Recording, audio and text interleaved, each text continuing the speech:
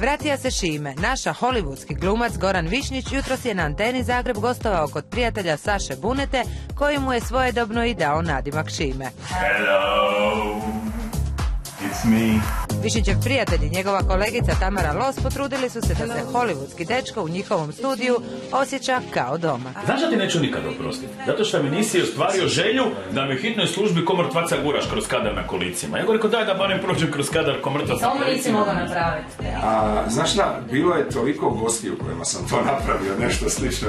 Naše gore list kojeg je časopis People uvrstio među 50 najljepših ljudi na svijetu nije samo lijepo lice, nego ima i dobro srce. Razlog njegova dolaska borba je za prava životinja, točnije 65 nasilno odvedenih pasa s Dubrovačke Žarkovice.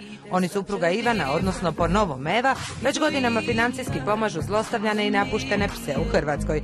Čini se da je Amerika izvukla ono najbolje od njega, kad već mi to nismo znali. Name is On the second floor. Kovača. To nisam čuo. A ne zaboravlja Višnjićne stare prijatelje. Naš najmlađi Hamlet preksinoć je u Kerempuhu pogledao predstavu Hamlet u selu Mrduša Donja. Njegove kolege o hollywoodskoj karijeri mogu samo sanjati. Taj san sanjao je i on prije 16 godina kada se uputio preko bare u LA. Iako je bio iznimno talentiran, nije se bilo lako nametnuti u gradu filma. Ali na castingzima nikada nije lagao kako bi dobio ulogu. Jesi kad malo nešto muljao?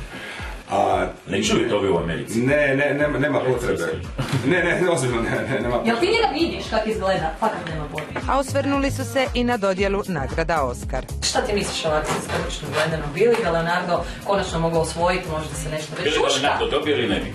Možda se nešto već šuška u tim krugovima. Da, našli ste krivu osobu Ne voliš? za pričat Oscar. Ne, ne, ne, ja, Leonardo, mislim da je odličan glumac, apsolutno, i ovaj, ali nisam vidio film. Iako je u Hrvatsku došao već prije četiri dana, ovo je prvi intervju kojeg je dao tijekom ovog posjeta domovini. Prisjetio se djetinstva u Šibeniku i iskreno priznao da se baš i ne namjerava vratiti u Hrvatsku. U Kaliforniji mu kaže odgovara klima. Iako ne prati baš domaće medije, zna da se Rozga i Hauser još nisu zaručili, ali da su se naši rukometaši plasirali u polufinale Europskog prvenstva. To u ostalom zna svaki Hrvat na kojem god dijelu svijeta živio.